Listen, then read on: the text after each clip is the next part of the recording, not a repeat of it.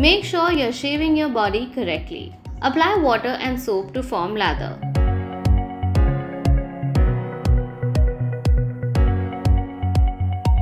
Glide the razor against your hair growth. Wash the skin and let it dry. End with Sirona Post Wax and Shave Gel. Clean and dry the razor before storing.